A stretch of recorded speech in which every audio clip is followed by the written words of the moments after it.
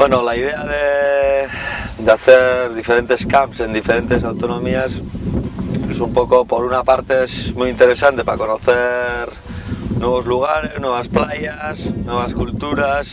Entonces, aparte del programa hablábamos de educación en el sur, pues es parte de ello también, ¿no? Conocer nuevas gentes, olas, respetar a gente de otros lugares y demás, ¿no? Y que los propios de la casa, ¿no? Pues, pues nos enseñen un poco su lugar y, la importancia de surfear diferentes olas y, conocer, en definitiva, conocer diferentes sitios, ¿no? Y, y gente y cultura.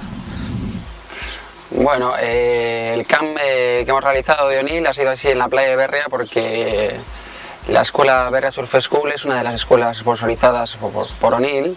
Ella nos ayuda con trajes de neopreno, con publicidad. ¿eh? Entonces, este ha sido un poco el objetivo. De todas maneras, la playa de es una playa ideal para, para la práctica del surf, sobre todo para cursos de iniciación, cursos de perfeccionamiento. Son dos kilómetros de playa. Las olas son bastante regulares, hay mucha continuidad y creo que es un entorno ideal ¿no? para celebrar este tipo de, de eventos. Bueno, básicamente la diferencia entre las tablas de escuela y las tablas de perfeccionamiento es que las tablas de escuela son tablas mucho más básicas, con mucho más volumen, eh, no tienen el bottom, ¿no? la parte de abajo de la tabla no es eh, tan técnica como una tabla de perfeccionamiento. Eh, las de iniciación tienen mucho más volumen, con lo cual aprenden mucho más fácil, les da mucho más tiempo a los chicos a ponerse de pie. La mayor diferencia es eso, el volumen y luego pues una vez que ya buscamos una tabla más técnica, una tabla para, para un chico ya para perfeccionamiento, eh, ya vamos ajustándosela mucho más a su peso, a su, a su nivel y vamos buscándole algo eh, que ya le permita con más curva en el, en el bottom de la tabla, en el, rocker, que ya le va a permitir empezar a hacer los giros que, ya van que vas para ir cogiendo un poco más de, de soltura, más, más, de, más de nivel. Pues la disposición yo los veo al 200%. o sea, al principio del primero, pues todavía igual no habían captado muy bien de qué iba la historia, pero poco a poco están viendo que, que están progresando, que están aprendiendo cosas, lo están pasando bien. Entonces, realmente en este segundo camp se les ve súper ilusionados y con much- muchísimas ganas. A nivel local, en la zona oriental de Cantabria, mi escuela ¿eh? es bastante reconocida porque llevamos trabajando con ella desde el 98. Entonces fue la primera escuela a nivel de la zona oriental de Cantabria que fue creada. Y con los años, con la experiencia, pues has creado ya eh, una cultura ¿no? en la zona y es escuela referencia dentro de, esta zona. Pues la diferencia entre las tablas de chico y de chica una vez para perfeccionar, pues no mucha. Básicamente eh, se adaptan al peso y a la altura, al- bueno, más que a la altura al peso y a la, forma física, al nivel del surfista, pero no tiene por qué. ¿eh? Las tablas de, chico y de chica eh, deberían, son más o menos iguales. A veces las chicas le ponemos un poco más de anchura a la parte de adelante, con lo cual consiguen un poquito más de remadas y si vemos que, que es una chica, en este caso, que tuviese menos fuerza que, que algún chico, pero en realidad no, no, no debería, no tendría por qué haber diferencia entre los de chica y chico.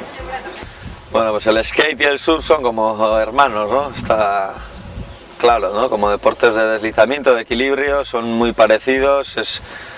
Eh, aparte de ser, ser muy divertido como el surf, pues bueno, nos sirve mucho pues para poder entrenar diferentes movimientos similares al surf y realmente es un buen, una buena herramienta de entrenamiento pues para, para el surfing, ¿no?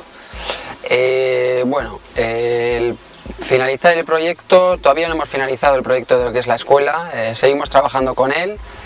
La escuela al final es nuestra pasión, estamos trabajando siete monitores en ella. Este año hemos creado otra nueva sede en un pueblo de Alao. eh, estamos intentando acceder a, a lo que son a los colegios también, eh, para meterlo de una manera educacional. eh, trabajamos mucho la didáctica con los chavales, damos mucha importancia a, lo que es el trato personal a los chavales, que ellos salgan del cursillo, que aprendan, que sepan surfear de manera independiente, cosa que es un poco complicado en cinco días, pero bueno, intentamos que sea súper intenso que ellos se lo pasen bien y que llegue, que llegue al público el surf, eh, que cada vez, bueno, pues hay, hay más demanda de él. Pues para hablar de la fabricación de talas eh, de forma ecológica, eh, pues mira, te digo la verdad, no estamos, yo concretamente no estoy muy metido todavía en el tema. Sí sé que, que hay gente, no sé si es en Australia, todavía he leído una entrevista hace poco, que estaban haciendo con, con materiales 100% reciclados. Eh, y lo que no sé es si, si esas tablas están funcionando o no como las otras, ¿no? Porque a fin de cuentas es un poco egoísta, pero el surfista sigue buscando la máxima sensación en el agua, eh, el máximo disfrute, la máxima, el máximo rendimiento de una tabla. Y han pasado unos, pues desde los años 60, pues habrán pasado 40, 50 años y seguimos haciéndolas de la misma manera básicamente, que es con, con foam, resina de, o sea que es un poliuretano, es muy contaminante, eh, tiene gases, es contaminante para la salud, para los que lo tocamos y para, y para el medio ambiente. Eh, y las resinas también, resinas de poliéster, mmm, perjudiciales también, con gases tóxicas, etcétera. Eh, va la cosa muy lenta. De lo que sé es que va la cosa muy lenta y que, y que tardará.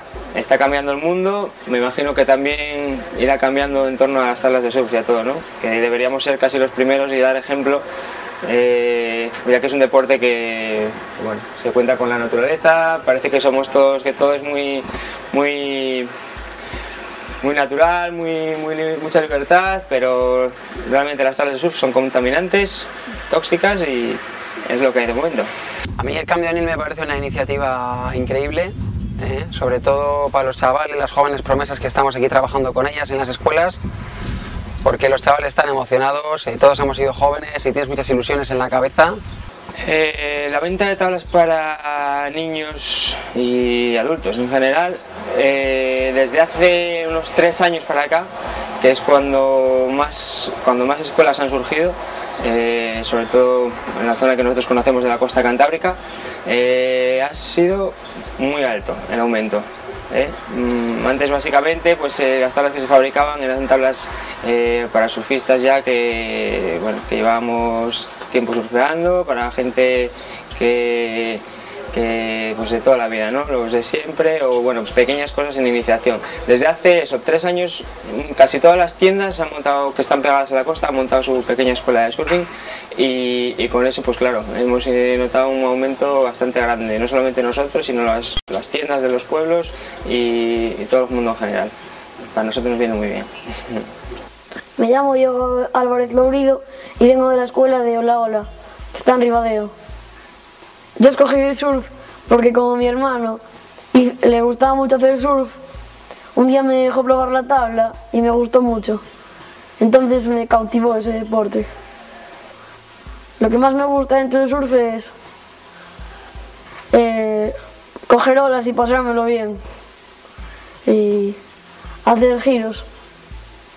Eh, me llamo Silvia Menéndez Suárez y vengo de la escuela de Slash. He probado muchos deportes, pero el surf me gustó desde el principio, me, no, quise parar, me pareció súper divertido. Pues no sé, la verdad es muy, bueno, el placer que te da poder surfear una ola, es que parece, yo desde fuera lo imposible y, y estar en el agua flotando, es muy guay. Eh, yo me llamo Miquel y vengo de, de Baquio, pero me trae Julen el coro de Zarauz, que él me vio y pues él me eligió para venir. Yo escogí el surf cuando era pequeño porque, no sé, me gustaba la sensación de ir al mar y coger olas. No sé. Pues estar con los amigos en el agua y pues pasármelo bien sobre todo y pues cuando te sale una maniobra pues que te ha costado hacerla o eso, pues que, no sé, que la disfrutas con tus amigos y eso. Eh, me llamo María y vengo de la escuela de Pantín. Lo que más me gusta del surf es el sitio donde se practica y que conozco a otra gente y estoy con otras personas. Me llamo Marcos y vengo de la escuela de surf de RIS, aunque me han traído la escuela de Rubén de Berria, me ha traído a este camp. Mi hermano surfeaba desde hace mucho, lo dejó y no sé qué me motivó a entrar al agua. Un día fui a la playa con la tabla y me empezó a gustar el surf y, es ahí. Lo que más me gusta del surf es viajar, conocer sitios diferentes y surfear olas buenas. Eh, me llamo Roberto Álvarez y vengo a la escuela de Gijón. Ah, lo que más me gusta en el surf son las competiciones.